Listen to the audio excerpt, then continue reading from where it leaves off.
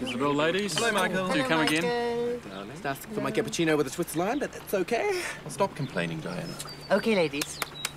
I think we should split the bill evenly amongst all of us. Oh, no, no, no, no, no, no. I think that's a good idea there, I only had one drink, Pusper, and you had four. I only had a water. I think we should split it evenly amongst all of us. Otherwise, it's too difficult. Do we look Dutch? Don't know how you can factor that one into the equation there, Pusper. Agreed. Hmm. My gosh, Puspa, you're like a robber. I think we should just pay for what we had.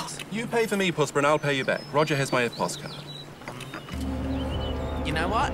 Oh, and as on, as on touch. Come on, man, chucker. She's throwing it here. Bring it up. You know what? It is on. Oh, I was going This is definitely on. Sit Golly, down, man. That's like Indiana Jones. Thumbs up. Ah! Something is definitely on. Absolutely Oh, pathetic.